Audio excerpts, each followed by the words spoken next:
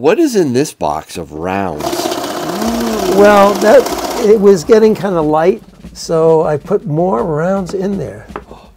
So if 10,000 ounces of silver comes in and the spot price is $100 an ounce, are you going to be able to satisfy the cash requirements? I probably would have closed the doors before that. Um, they can shut the door anytime.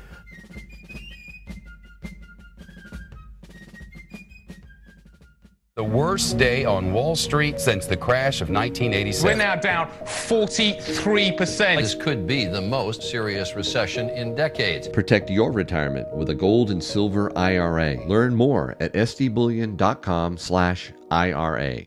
Hi, Tim. Yes. How are you? We're doing just fine. today. Are you doing well? Yeah. How's business? Business is very strange. Strange. Yeah, we, we still have the same number of buyers. We have um, a lot more sellers. And all the sellers I've talked to pretty much have good reasons for selling their gold and silver. Hmm. Um, like like this stuff right here, right? Is this Yeah, this that- is uh, this is pretty typical. I mean, people have um, a need for a little cash.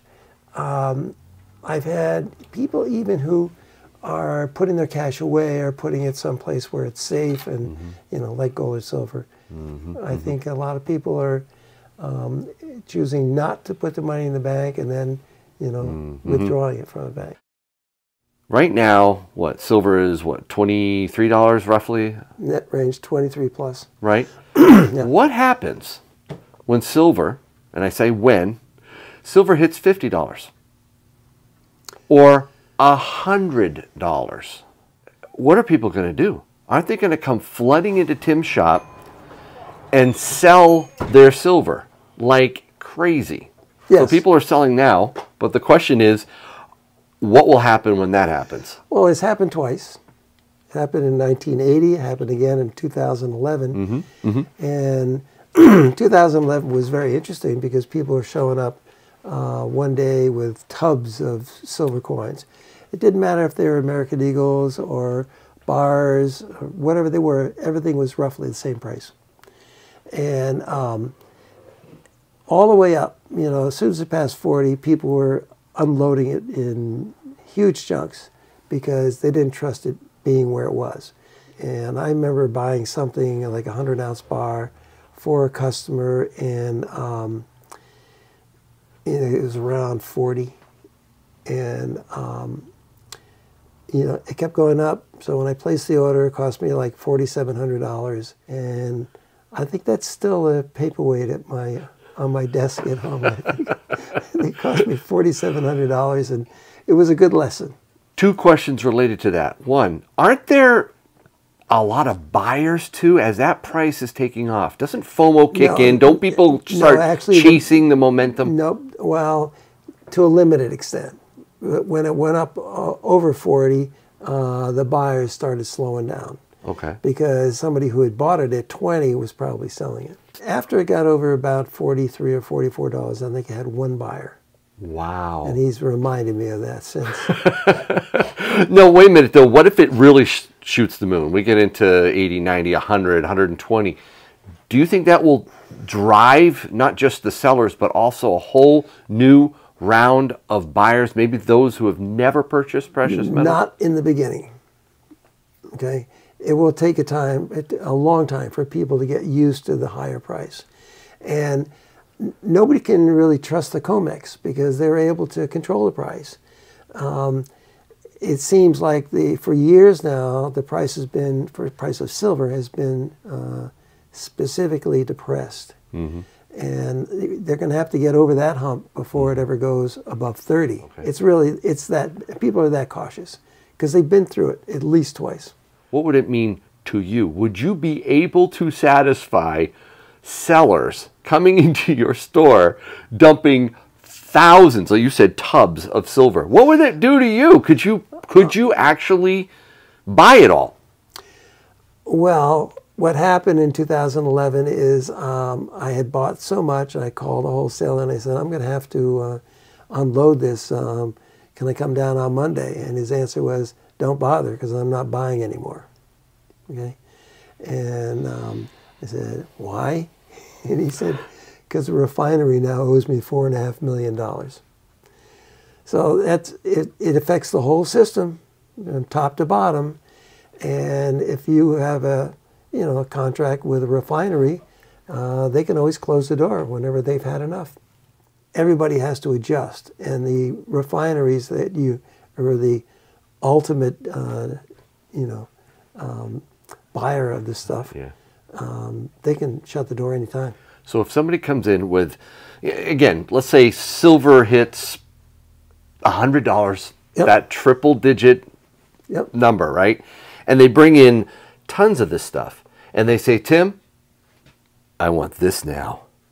Do you think it'll be there? Yeah, I think it will be because it would. It'll make a lot of changes on the way up. It's not going to go from twenty three fifteen where it is today to um, hundred dollars. No. And um, keep in mind that um, the COMEX has a, uh, a vested interest in silver, physical silver. Um, so, number one, you're expecting the COMEX to let it go. I don't know what their physical silver requirements are, but they, they're running a business as well.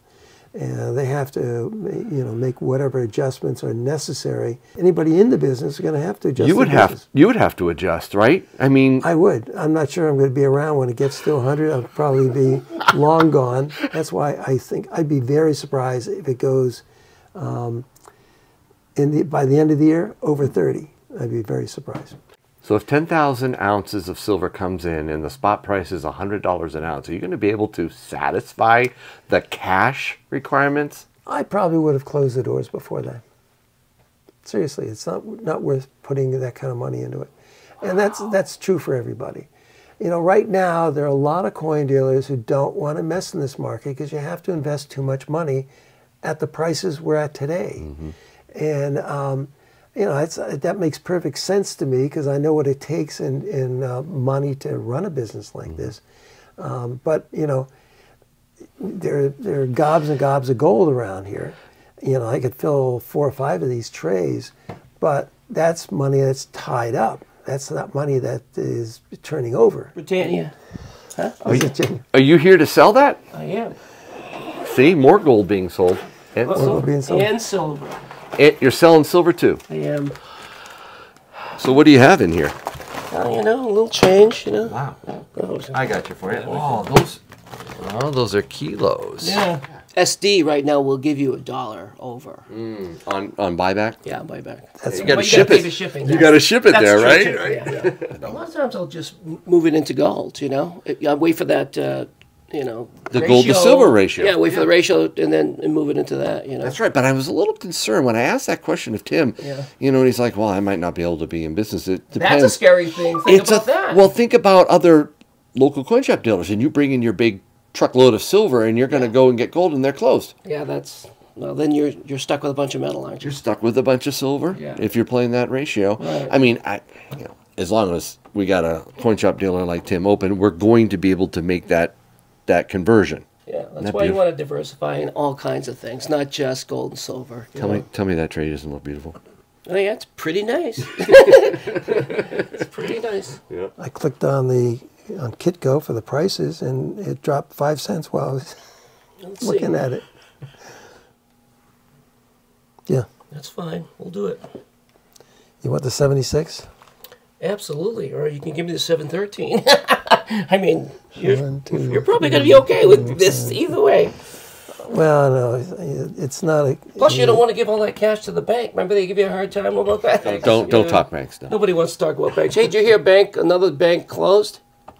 Cl- Closer was in trouble. Or the stock was way down. Yeah, What- I- I what's the name of I- it? It was something like that. I don't know who it was. yeah, the stock was way down. I can't remember the name of the bank. closed. Like, oh my God. We're, we're not out of the banking No. trouble. No, but they'll tell you that. Uh, oh well, J.P. Morgan was going to buy that bank anyway. God. I mean, they they get lots of excuses. JP I'm Morgan's all over the impressed with Jamie Dimon because he's trying to uh, wake people up. I'm glad he's taking the stance he is because people really need to know the truth. We're not getting any truth out of anybody else, and you know what I'm talking about. I sure do. Oh, yeah. Ooh, what's that? Uh, it's a badly damaged Britannia. Isn't it amazing how beautiful it is when you buy it and how damaged it is when you sell it? You keep it. You keep it in the plastic. I don't know. I'm kidding. He used to. It's funny. Uh, yeah. Boy, I even hesitate buying gold at this level because I don't what? trust it. At this level, I hesitate to buy gold because this is this is all funny. You look at the graphs on these things; I have. It's part of it is Jerome speak. That's exactly what it is. Uh, let's, let's see this graph here. Okay, now why did it go up here? What's a good reason? Uh, first of all, why did it go up there? Why did it go down? Then why did it go up here and then go down? And what is this all? This is not a pattern. You're supposed to tell us, Tim. Looks like a heart attack. It, it looks like something seriously wrong. Get the paddles, man. Get the paddles. But Jumpstart You know, that guy. He says, well, we're looking for a little more evidence that uh, inflation is desa- abating, or he wants some other term. I don't know. And the metals shoot up. Whoop! Gold goes up like that. Come on. What was it yesterday? And why is it doing this today? And It's where's all it, weird, Where's it going to be tomorrow? In in the negative? Yeah. Silver it's was supposed just- to be chasing gold, and everything's whacked. Tim, didn't I tell you not too long ago that the calculus is all changed? That they hang on every word the Federal Reserve says, Yeah, and they they're do. trying to But who- predict what they're going to do. who is listening to the Federal Reserve? Traders, And and why are they? Oh. because they're addicted to cheap money. Tim, they want, they need an injection of stimulus in the form of rate cuts, and eventually QE five. That's what they need, Tim. It, there's no rhyme or reason to this market. I get lectures from this guy, and and you know he's the one that told me, oh, they're cutting rates in March, and now it's at least May. okay, right? all right. Have I ever been right? Yeah, okay, okay, all right. Yeah. No. I really think the cuts are coming. Rate cuts. Yep, they're coming this Well- year. Multiples. Yeah, I think the they should be afraid, afraid enough of Trump getting in there to to um, whatever they do, they better be a little more cautious uh, about number one, running up the debt. Number two, about quantitative easing, um, bailouts. They better, if they even have bailouts in the back of their mind, it's a mistake. And um, uh, today, too big to fail should be sucks to be you. Sorry, that's life. If you can't run your business so you don't fail, stop cheating people. Maybe stick around longer. Hmm. Oh, and there's, there's more of that coming. That's the problem. You know, we apparently didn't learn anything from 2008. So while you do that, Tim, what what is in this box of rounds? Well, that it was getting kind of light. You know, I, I could actually pick it up. So I put more rounds in there. Oh, There are all different types of buffaloes in there. so some new stuff. and you know this uh, Mercury Dime round, which is a very popular one. Um, this is a little bit like the Talents, but I, I don't know what the um, the background of it. They're semi-religious, and then there are a lot of oddball things like you know, uh, um, you know, Lunar New New Year coins, ships. Something you can get yourself engraved and you give to yourself as a present, since nobody else will. Is that Trump? You just covered up. Oh, is it? Oh, that one. Yes, that's uh, that's not made gold or silver, but, Okay. but yeah, there are lots of interesting Lots of things. uh, interesting, cool stuff in here. Do you want me to put some of these in there in flips? Would that make sense? Oh, to do, that'd be a do you- good idea. I yeah, I may have a tube for sunshine. Ooh, okay. This is sunshine. Let me see. I don't know about all of them. And I do I do separate the buffaloes and I put those in a tube. Okay. So any types of buffalo rounds get a separate tube. Yeah, those are the same. Yeah, yeah, I'll get you a tube for those. All right. And there's um, a random um, maple leaf. This is 2018. And these two monsters are two ounces each. So we got some good selection of silver in here at the coin and stamp shop. in Manchester, New Hampshire. Check out the description of the video for all the info. Yep. Don't, before you go, we have lots of hundred ounce bars. We have lots of kilos. Oh yeah. Those are fun. We have lots of ten ounce bars. Those are fun, though.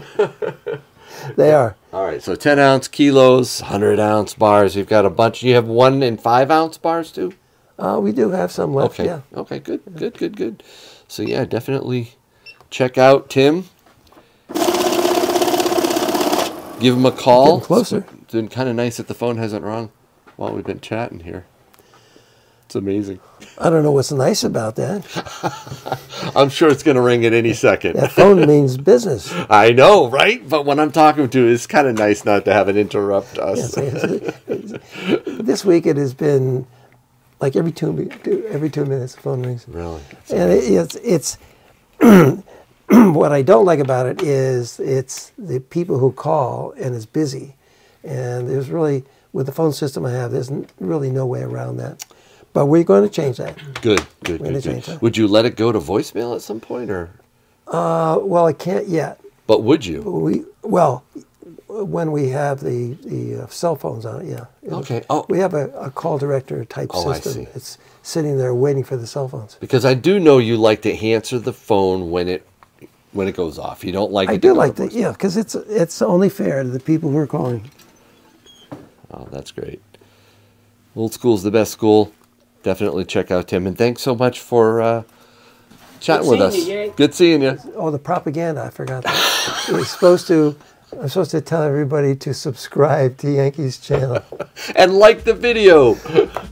Yeah, yeah, subscribe to this channel and like it, whether or not you do. Thanks, buddy.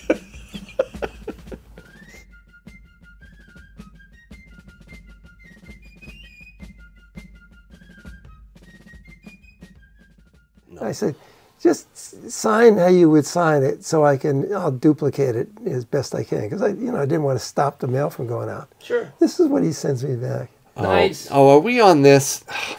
I love it.